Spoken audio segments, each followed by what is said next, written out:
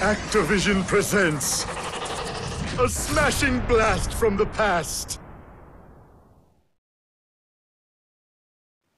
Developed by Vicarious Visions.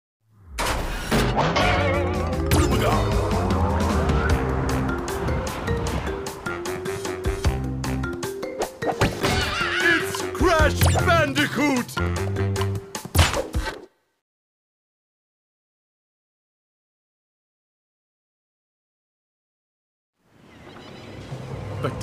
Cortex, we haven't determined the cause of.